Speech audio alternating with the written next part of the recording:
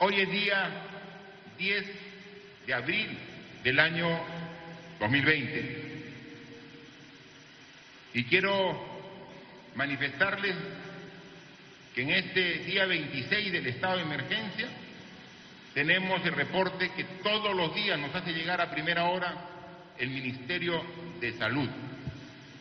Y nos reporta que hemos muestreado 56.681 personas, de las cuales han dado negativo 50.784 y han dado positivo 5.897. Aquí es necesario dar una pequeña explicación. He dicho que hoy estamos en el día 26 del estado de emergencia. Cuando empezamos esta semana, habíamos ya cumplido tres semanas del estado de emergencia, 21 días. Y cuando digo el reporte, el día lunes 20, iniciando esta semana, informé que habíamos muestreado 20.414 personas.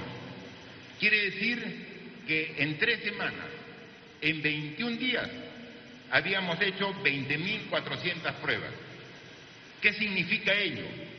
Que realizábamos un promedio de mil pruebas por día. Y el realizar mil pruebas por día es estar dentro de los parámetros de pruebas que están haciendo los países de la región. Comparémonos con los países de aquí, los países vecinos, amigos de América del Sur, están por el orden de mil pruebas diarias. Unas un poquito más, otros países un poquito menos.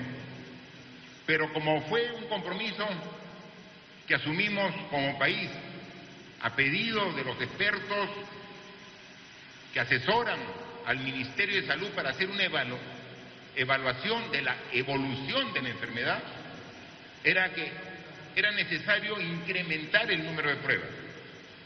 Hemos hecho un esfuerzo, se han adquirido las mismas y a partir de este lunes hemos comenzado a realizar en promedio 9.000 pruebas diarias. Es decir, las tres primeras semanas teníamos 1.000 pruebas por día y ahora tenemos un promedio de 9.000 pruebas diarias hasta llegar al óptimo que seguramente lo vamos a alcanzar la próxima semana de tener 12.000 pruebas por día. Por eso es que en cuatro días hemos realizado 36 mil pruebas, mucho más de lo que habíamos realizado en los primeros 21 días de este estado de emergencia. Entonces, no tiene por qué extrañar que el número de casos positivos, al haber pasado de lunes a viernes, de 20 mil pruebas a 56.681, pase a un número de 5.897.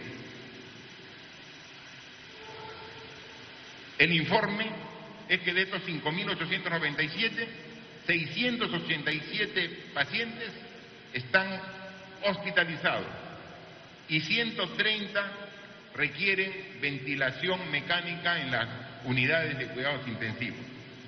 Esta es información relevante que hay que tomar en cuenta porque eso nos permite tener un mejor control de la evolución de la enfermedad, entre más pruebas tengamos. Con este nivel de pruebas de 9.000 y que va a llegar a 12.000 pruebas, superamos largamente, por varias veces, el promedio de pruebas que hacen los países de la región.